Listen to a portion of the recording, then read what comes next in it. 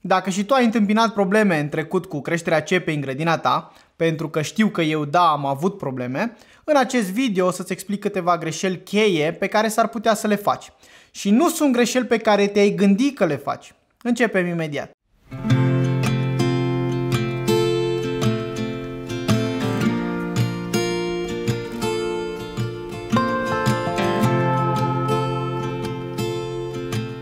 Salut! Mario Ivănescu aici, gazda dumneavoastră pe acest canal, unde obiectivul nostru este să continuăm să ne îmbunătățim zilnic. Ok, haideți să discutăm despre ceapă. Una dintre cele mai banale lucruri. Cel puțin atunci când intri într-un magazin, stau ele acolo îngrămădite într-o cutie sau o lădiță, mai și pică de pe rafturi când încerci tu să le alegi pe cele care arată cele mai bine. În bucătărie le folosim aproape în toate rețetele de zi cu zi, nimic special. Dar frate, câteodată chiar pot fi o adevărată provocare să le crești. De aceea o să discutăm despre ele. Dar în primul rând, cum crește o ceapă? Trebuie să înțelegi asta, altfel nu ai cum să înțelegi de ce apar aceste probleme. Numărul 2, ce tip de ceapă ar trebui să crești. Și apoi numărul 3, o să discutăm despre diversele moduri în care poți da startul unei cepe sau cum poți să plantezi o ceapă. Înainte să începem, lovește butonul de like ca acest video să ajungă mai ușor și la alte persoane care poate au nevoie de aceste informații. Și bineînțeles, dacă faceți asta, o să pun și eu 2-3 lumânări pentru ca ceapa voastră să fie binecuvântată. Și astfel o să aveți o recoltă mult mai bogată. Revenim. După cum am spus, primul lucru este să înțelegem cum crește o ceapă de fapt. Când plantezi sămânța în pământ, frunzele ies la suprafață, iar rădăcina se dezvoltă jos în pământ. Frunzele produc energia necesară ca planta să se dezvolte. Niciodată nu o să obținem un bulb mare și frumos dacă frunzele nu sunt frumoase și sănătoase. Acum, gândiți-vă cum se dezvoltă exact. Frunzele ies la suprafață, aceste frunze practic se încolăcesc cumva în jurul a ceea ce în final va deveni bulbul nostru. Deci, fiecare frunză este ca un strat al cepei finale. Cam așa funcționează lucrurile. Când avem aproximativ 13 frunze, atunci avem ceapa perfectă. Atunci ai 13 straturi. Este foarte importantă durata zilei, deoarece atunci este momentul când uh, aceste frunze încep să primească carbohidrați și să-i transmită către bulb. Atunci începe bulbul să crească. Dacă nu ai multe frunze, frunze mari, frunze sănătoase, atunci nu o să trimită foarte multă energie în bulb și nu vei obține o ceapă bună. Ca o concluzie finală, frunzele sănătoase produc bulbi sănătoși. Deci, contează și locația unde te afli, unde crești ceapa. În funcție de cât de departe este locația respectivă de ecuator, aceasta va influența durata zilei în timpul verii, atunci când practic crești ceapa. Din acest punct de vedere o să împărțim ceapa în trei categorii. Ceapa crescută în zile scurte, în zile medii și în zile lungi.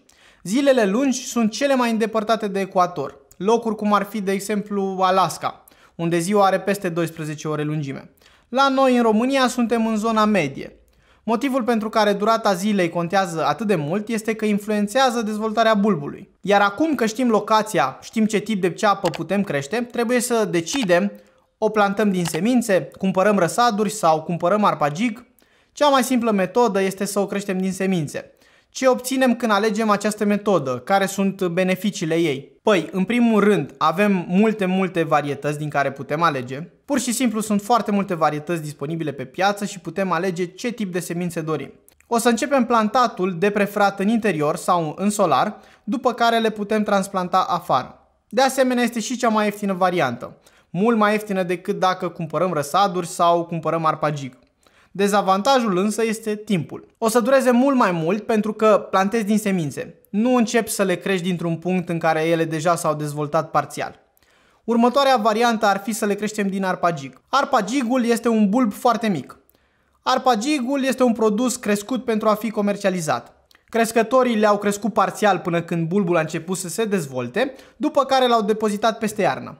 Acesta este pregătit pentru a fi plantat de către cumpărător în anul următor. Problema cu arpagigul este că de obicei sunt varietăți cu perioadă foarte lungă de vegetație. Ultima variantă ar fi să cumpărăm răsadurile. Putem cumpăra răsaduri gata făcute pe care le putem transplanta direct în câmp. Acestea sunt crescute tot din sămânță, doar că ne scutește pe noi de puțină muncă. Putem cumpăra răsadurile și să le transplantăm direct în câmp. La fel sunt produse crescute pentru a fi comercializate. Sunt semănate și scoase afară când acestea au 4-5 frunze și sunt puse la vânzare. Cam asta înseamnă practic un răsat de ceapă. Cu ajutorul lor, sar peste procesul de plantare a seminței, germinare și așa mai departe. Sar câțiva pași și scutești timp și muncă. Atenție la ce varietate alegeți, trebuie să vă asigurați că este varietatea potrivită pentru voi, pentru zona în care vă aflați. Cu ajutorul unui răsad poți să începi sezonul puțin mai repede decât dacă ai fi crescut uh, ceapa direct din sămânță. Recomandarea mea ar fi să alegi varianta cea mai bună pentru tine în funcție de locație și de nevoile tale. Dacă ești într-o zonă cu zile mai scurte și temperaturi mai scăzute, poți alege fie să le crești din sămânță sau din răsadurile gata făcute. Sar peste varianta de arpagig, poți să o folosești doar dacă știi sigur ce varietate este și care este perioada de vegetație. Pentru o zonă medie, vă recomand cam aceeași abordare. Dacă sunteți într-o zonă cu zile foarte lungi, puteți alege oricare dintre cele trei variante fără nicio problemă. În România poți folosi oricare dintre cele trei variante. Sper că aceste informații să te ajute să înțelegi cum funcționează cultura de ceapă. Am încercat să aduc uh, lucruri noi pe care nu le-am văzut sau despre care nu se vorbește foarte des când vine vorba despre cultura de ceapă. Chiar este o cultură mișto, avem și multe varietăți, nu este nici chiar atât de complicat de crescut și o folosim în foarte, foarte multe rețete.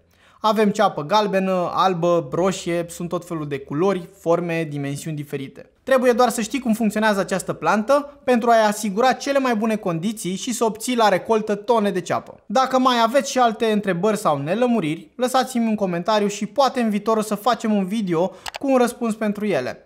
Mulțumesc că m-ai urmărit până la sfârșit, nu uita să dai un like acestui video dacă ți-a plăcut, abonează-te la canal și apasă pe clopoțel ca să fii notificat când postez clipul următor. Pace!